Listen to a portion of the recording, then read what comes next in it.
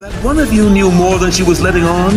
That one of you might have gotten you stranded in Amphibia. On purpose. Look at Sprig! I gave you this! I gave you everything! Give him? I did it for us. I just didn't want to be alone.